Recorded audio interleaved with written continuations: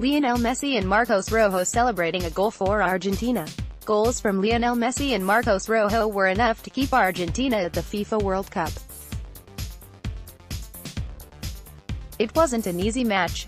It wasn't supposed to be an easy match but no one would have predicted the way things panned out.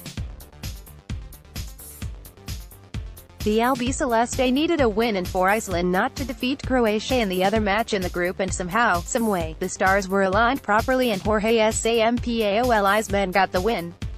A first half which saw Argentina dominate possession and possibly play their best half at the World Cup also saw Lionel Messi score his first goal at the 2018 FIFA World Cup. A fabulous pass deep from midfield by Ever Banega, a touch off the knee by Messi and a right-footed finish put his country ahead.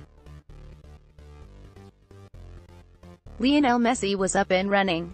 The captain nearly added a second when his free kick hit the post. It was 1-0 going into halftime.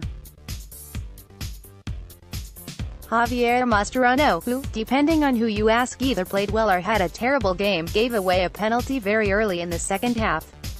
Victor Moses scored in the 51st minute and suddenly Argentina were not looking as comfortable. Cristian Pavone came on for Enzo Perez, Maxi Meza for Angel Di Maria and Sergio Aguero for Nicolas Tagliafico. Jorge Sampaoli went all in. Nigeria nearly added a second but a great stop by goalkeeper Franco Armani kept the score at 1-1 and his country still in it.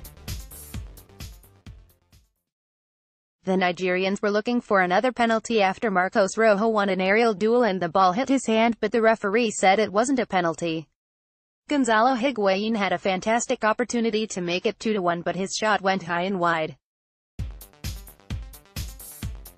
Cristian Pavone received the ball who passed it out wide to Gabriel Mercado as he sent in a low cross to find Marcos Rojo whose right-footed shot found the net and the celebrations were underway.